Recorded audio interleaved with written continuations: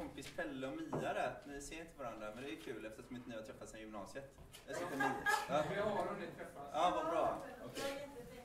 Eh, Den här heter Dr. Peppers Broken Heart i första spåret på den här skivan då, som jag har visat förut. Och här då, den här fina bilden, jag börjar med att säga det nu så jag inte glömmer det. Här sitter då upphovskvinnan till eh, det här lilla konstverket, Kerstin Ernlund. Kan vi få en liten applåd?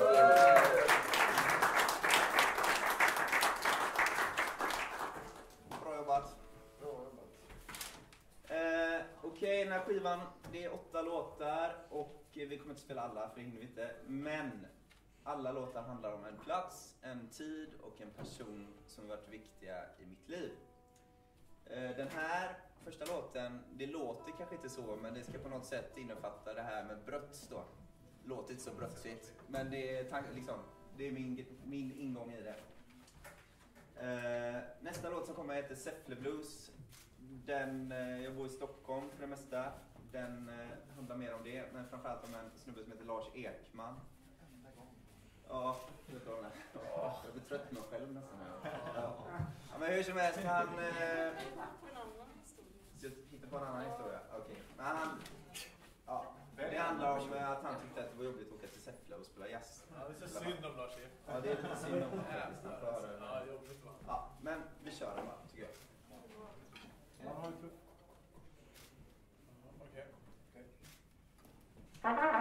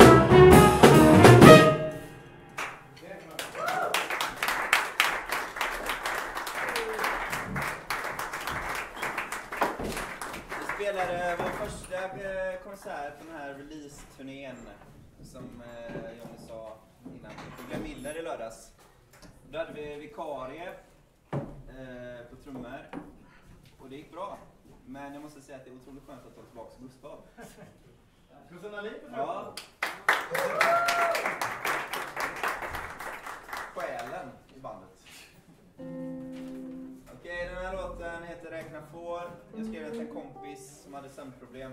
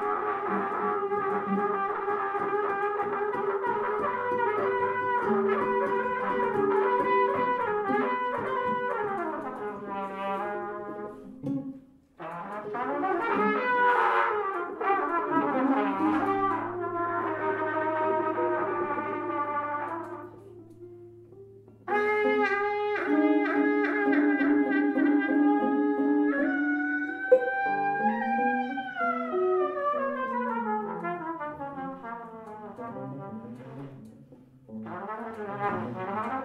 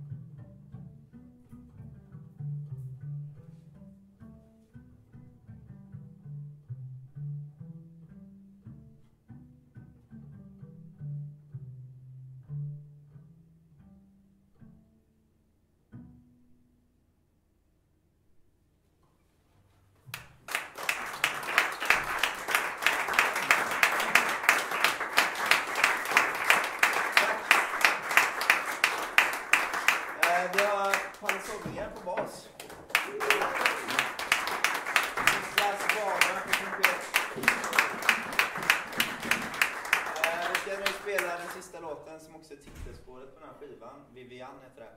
Eh, Det är en pizza som finns på en pizzeria i Mölndal. Vivian.